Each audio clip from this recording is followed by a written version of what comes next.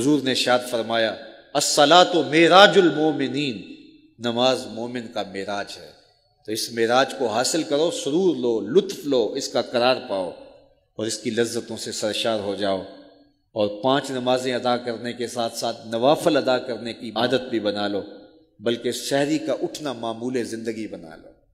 ایک روایت میں آتا ہے کہ شہری کے وقت جب بندہ اٹھتا ہے اور اپنی بیوی کو بھی اٹھاتا ہے کہ اللہ کی بندی تو بھی اٹھ اور نماز پڑھ، نوافل پڑھ۔ لیکن گہری نیند کے نشے میں بیوی نہیں اٹھتی۔ خیر، یہ وضو کرنے چلا جاتا ہے۔ جب وضو کر کے واپس آتا ہے تو تھوڑا سا پانی چلو میں لے آتا ہے اور اپنی بیوی کے اوپر چھڑک دیتا ہے۔ تو جب پانی چھڑکا جاتا ہے تو بیوی اٹھ بیٹھتی ہے اور یہ مسلح بچھا کے نماز پڑھنے لگ جاتا ہے اور وہ بھی وضو کرنے چلی جاتی ہے۔ تھوڑی دیر کے بعد جب وہ وضو کر کے آتی ہے تو وہ بھی مسلح لے کے اس کے ساتھ بچھا لیتی ہے۔ تو شوہر پہلے نماز پڑھ رہا تھا، اب ساتھ مسلح بچھا کے بیوی بھی نماز پڑھنے لگ جاتی ہے۔ حدیث میں آتا ہے، جب یہ دونوں نماز پڑھ رہے ہوتے ہیں، رب مسکرا رہا ہوتا ہے۔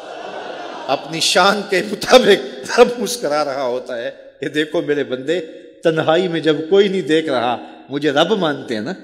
مجھے حقیقی معبود مانتے ہیں نا؟ اور میرے حضور سجدہ ریز ہو رہے پھر کتنی رحمتیں میاں بیوی میں اترتی ہیں، کوئی اندازہ ہی نہیں کر سکتا ہے۔ رب اپنی شان کے مطابق مسکرا رہا ہوتا ہے اور ان پر رحمتوں کا نظور کر رہا ہوتا ہے۔ تو آؤ پنج گانا نماز شیار زندگی بنا لو اور زندگی میں نماز کو کبھی بھی قضا نہ ہونے دو۔ وہ بدبخت ہیں جو اللہ کے حضور سجدہ نہیں کیا کرتے اور وہ خوش نصیب ہے جن کی پیشانیاں سجدوں سے آباد ہیں۔ قیامت کے دن وہ نور نور چہرے دور سے پہچانے جائیں گے جو نماز کے خوگر ہیں، نماز کے عادی ہیں۔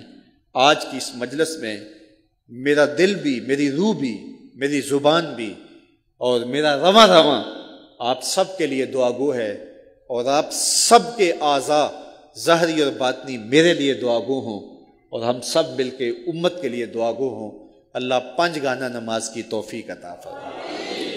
اور ہماری نسلوں میں بھی نماز کا نور باقی رہے۔ ہماری اولاد میں سے، ہماری نسلوں میں سے کوئی ایک شخص بھی نماز کی دولت سے محروم نہ رہے۔ یہ سعادت مندی اس کے مقدر میں لکھ دی جائے اور اس کی زندگی کے اندر نماز کو شامل کر دیا جائے۔ اللہ آپ کو جزائے خیر عطا فرمائے۔ آج کہا جاتا ہے کہ اس طرح کی باتیں سنی جاتی ہیں کہ جو جذبات کو حرارت دیں، گرمی دیں۔ لیکن ہماری یہ ضرورت ہے اس وقت تقریباً نوے فیصد طبقہ امت کا نماز نہیں پڑھتا ہے اور صرف دس فیصد لوگ نماز پڑھتے ہیں۔ تو اوری امت کے اوپر نماز فرض ہے، واجب ہے، لازم کی گئی ہے۔ اللہ توفیق دے۔